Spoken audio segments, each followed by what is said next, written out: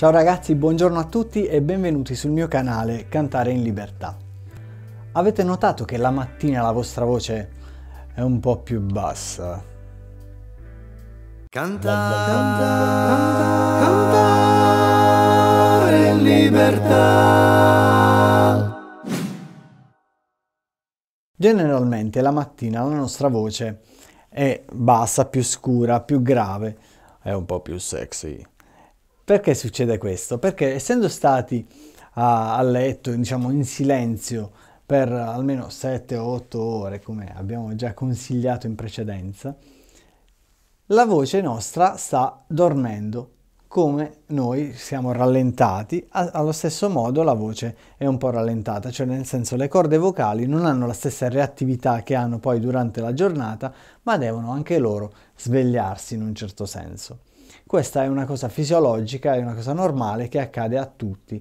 E quindi se devi cantare la mattina, ad esempio, se hai la lezione di canto alle ore 11, dovresti svegliarti almeno un paio d'ore prima, due o anche tre ore per andare ancora meglio, quindi otto e mezza, alle otto, otto e mezza dovresti già svegliarti, cominciare a parlare piano piano senza avere fretta di far svegliare la voce troppo rapidamente, quindi non è che noi ci svegliamo la mattina e iniziamo a urlare, cioè ah, devo riscaldare la voce. È una cosa fisiologica che deve avvenire piano piano, iniziando a parlare svolgendo le nostre attività giornaliere come tutti gli altri giorni.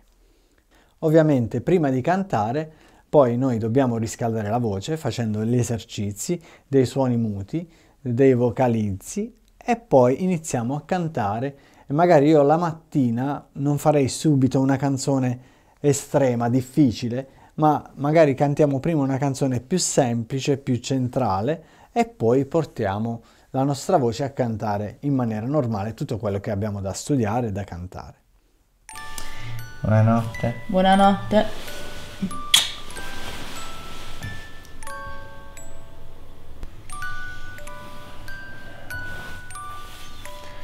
Buongiorno. Buongiorno. Quindi se stai provando a cantare di mattina una canzone che magari la sera prima ti riusciva e vedi che non ce la fai e non ci riesci, tranquillo, è una cosa normale che capita a tutti. Aspetta un po' e poi oh, ci riuscirai più tardi. Ciao, se ti è piaciuto il video ti invito a mettere un bel mi piace qui in basso e se non l'hai ancora fatto ad iscriverti al mio canale.